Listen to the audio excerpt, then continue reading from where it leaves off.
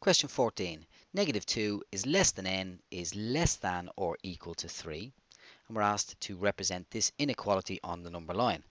So you might think about it like this. I can separate this inequality and say, well, I know that n is le uh, beg your pardon, what am I doing there? Less than or equal to 3. That's fairly obvious to see. And if I look at this carefully and read it backwards, if you will, I can say, well, that means n is also, and look, the mouth seems to be open here, so n is bigger than negative 2. So in essence, n is between 3 and negative 2. So I'm going to mark those for starters.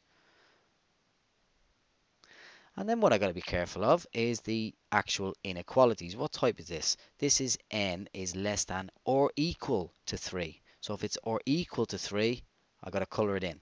That means I'm including the 3. Whereas this means go right up to the negative 2 but don't include it. And then what we're going to do is we're going to join those two together because n can be any value within that interval. The second part, B, we're asked to solve the inequality and you tackle this very much in the same way as you would tackle an equation.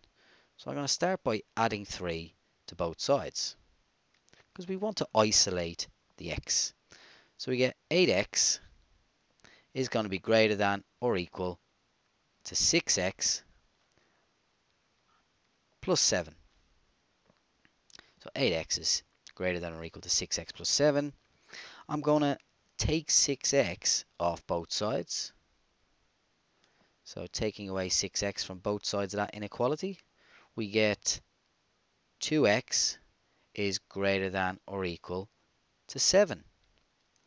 And then finally, to work out x, I'm going to divide by 2.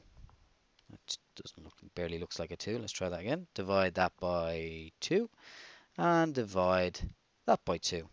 So that means that x must be greater than or equal, and you can just write it as a fraction, 7 over 2. 7 over 2, and if you really wanted to, you could simplify it to x is greater than or equal to 3.5. But you get marks for either that or that. Don't worry about that.